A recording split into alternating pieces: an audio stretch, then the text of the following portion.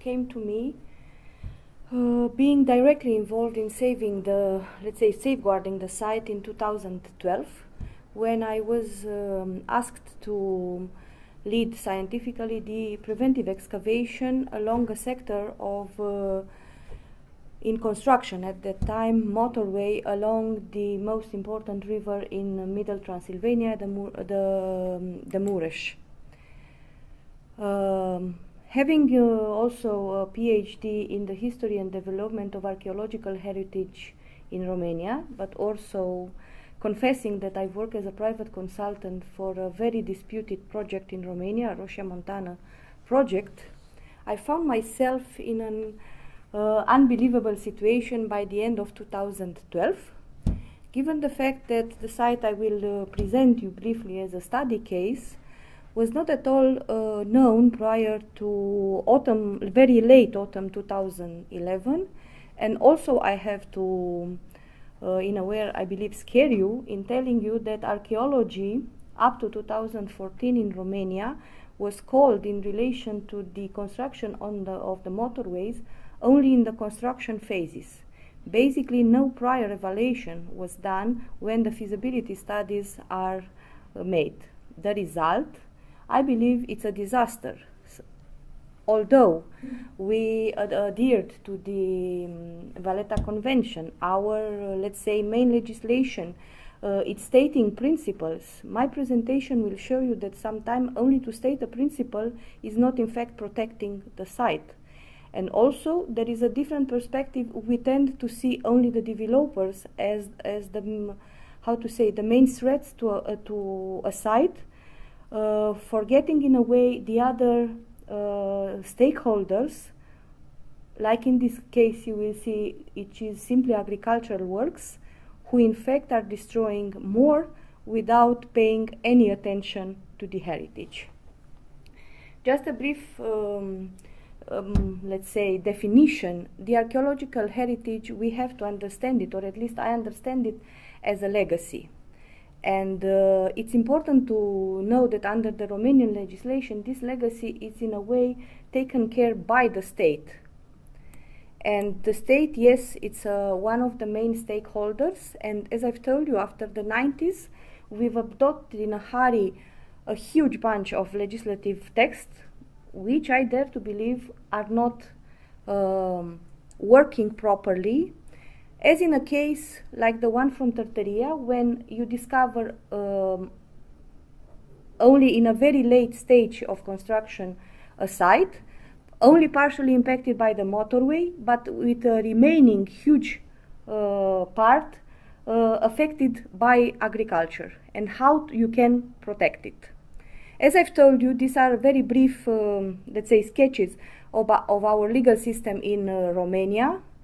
The idea is that, yes, Valletta is recognized as a, at a level of the authorities, but in fact is not put in practice. In theory, yes, we do have the three areas of uh, expertise, the culture, heritage legislation, the environmental one, and the town planning and uh, construction legislation, but the integra integrated conservation principle, it's a beautiful phrase without substance.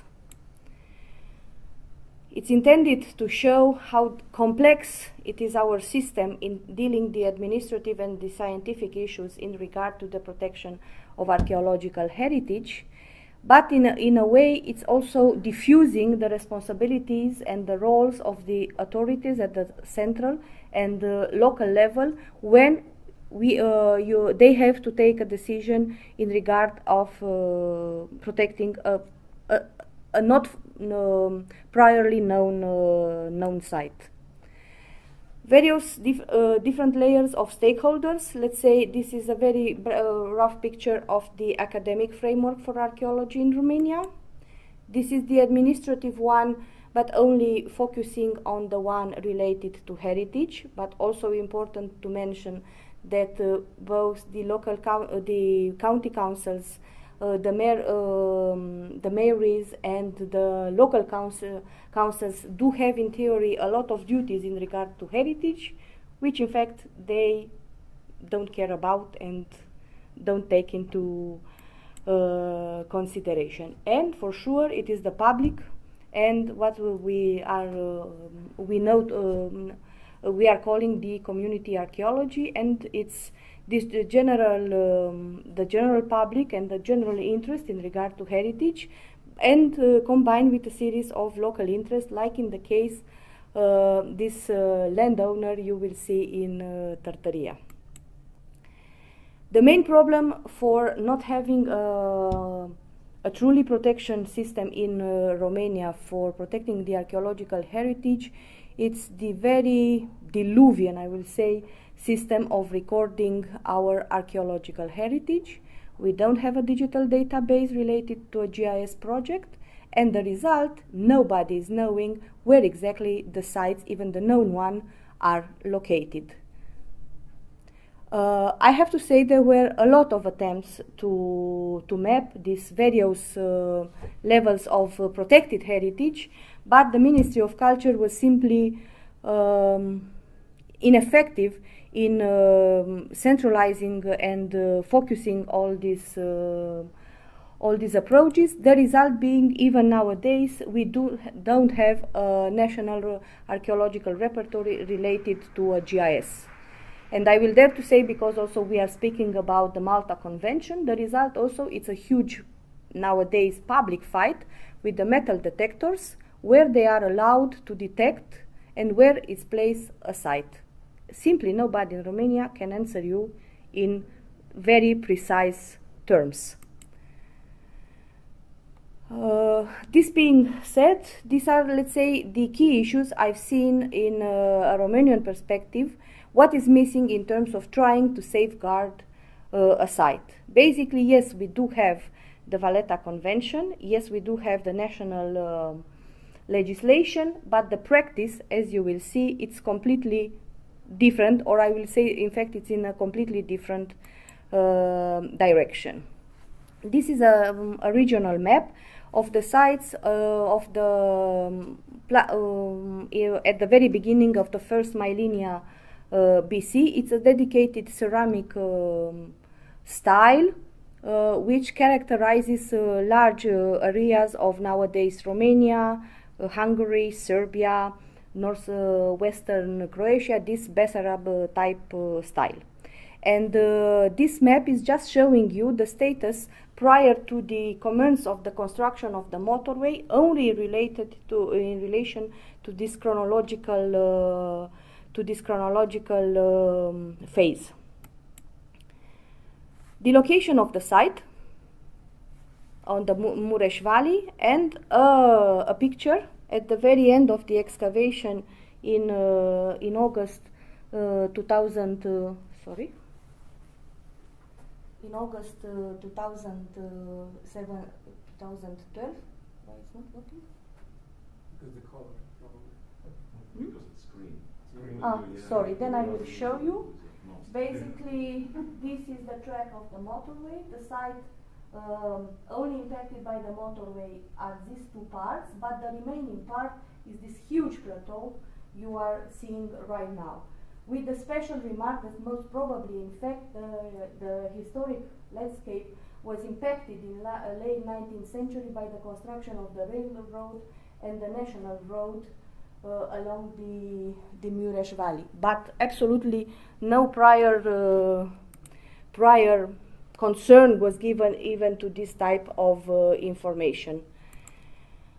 Uh, this is the map I was provided in spring 2012 in regard to the site. The green area, uh, it's what was um, preliminary outlined as a prehistoric site to be excavated um, in less than four months. And the pink area was, is what uh, we've uh, find out it has to be added to the research project uh, while we were already working in the in the field uh, two months after the beginning of the preventive uh, archaeological excavation. I will dare to say to you that basically when I started uh, the excavation in 2012, I was completely in blind. Nobody knew exactly what to expect in there. Very, uh, this is the, uh, the way the site simply looked in uh, spring 2012. I will move forward on the details, and this is the result. Uh, what you see in dark uh, blue are the trial trenches to try to understand the general stratigraphy and to the main location of the archaeological features. And what is in purple, it's a very complex system of open area excavation to understand and document exactly what the features are. And the results are this. It's an area full of archaeology and archaeological potential with uh, a special remark on the finds. This is a, uh, the, the special material which are, uh, it's the richest um, Iron Age, uh, mid Middle Iron Age, sorry, uh, site in Romania nowadays in terms of metallic finds, both uh, bronze and iron with a special remark to the to the special finds two bronze hoards and iron uh, objects found in an outlining ditch. Sorry, I forgot to tell you that. This is the outlining ditch. Uh, it's a natural ravine which with uh, anthropic intervention, something a feature completely unknown for other sites and which was possible to document only by this type of excavation, the open area excavation. One have to say very clearly that uh, the the funds for scheduled um, excavations in Romania simply does not allow to uh, document and properly understand such a structure. And only, and I will have to say, yes, preventive archaeology in a way it's destructive, but in a way, uh, in if you decide, um, if you project correctly your research agenda, you can use those finds in properly documenting and understanding a certain um, a certain historic uh, period. The second find was just three meters in the same uh, in the same uh, level, the, the second bronze hoard, and also you will see in here uh, it's another particular find. It's a collective grave. Uh, and uh, completely unknown for this period for the nowadays Romanian territory, but during the last uh, six to seven years, comparable finds have been made in uh, eastern and southeastern Hungary, also in relation to motorway construction, but also in, um, in nowadays uh, Serbia. So it's the the evidence for this uh, particular phenomenon of the middle, uh, early and middle uh, Iron Age period along the um, Danube, middle Danube and lower Danube are starting to to build um, to build a, a, file. And more uh, more interesting, when uh, we map the bronze hoards of this uh, historical um, sequence, we see that the area between Orăștie and Alba Iulia it's a, it's very rich in uh, these finds, and also that they are all located uh, on the ends of the valleys, uh, river valleys coming from uh, a mountainous area very uh, well known for salt deposits, uh, gold deposits, and non-ferrous ferrous deposits. So yes, a proper a proper um, archaeological repertory prior to this excavation would have helped enormously in understanding this historic environment. Mm -hmm. And further, I've managed uh, since the end of 2012, understanding the nature of the site. Uh, I uh, entered, I will dare to say it's a personal battle to try to save the site. As you see, this is the part investigated throughout preventive archaeological excavations, and this is the remaining area on which we've performed large-scale um, uh, geophysics surveys in 2004 and 2016 uh, in, in trying to gain the battle with archaeology, uh, with sorry agricultural works. As you see, it is an intensive um, uh, agricultural area. Moreover, to say, nobody uh, has uh, given attention to the meaning of the sites in the area and what the law is stating right now that for the areas uh, found outside urban um, urban zones, you have to give to an archaeological site, which is listed as a historic monument, 500 meters. And I just want to show you that this is the famous Neolithic site from Tartaria, the one with the first examples of writing in Europe. And uh, with European funds, they um, built somewhere between 2015 2016 a waste dump. Yes, I know it's shocking. And the others are two major um, excavations that are completely unreported from uh, an archaeological surveillance uh, in um, artificial ponds for uh, fishing. And the picture it's showing you the degree from 50, uh, 50 to 100 meter of this protection area which uh, should exist for uh, such sites. It's a very clear demonstration in my opinion that yes we do have a law but in fact it's just words. And the preliminary results of the geophysics made in 2014 and 2016. I will scare you once more. Uh, this, um, these pipelines were completely unaware to all the authorities at the level of the county and the mayor house. Uh, it's only the, the geophysics they find out, so this is unfortunately the situation with our basic uh, town planning documentation when dealing with uh, archaeology. What you see, it's also represented the results of the excavation in 2012 and all uh, these are, let's say, the preliminary indications of geophysics. And this is the, the, once again the plateau and the location of the test excavation made in 2016 and uh, 17 proving 100% that all the indications provided by the geophysics are true.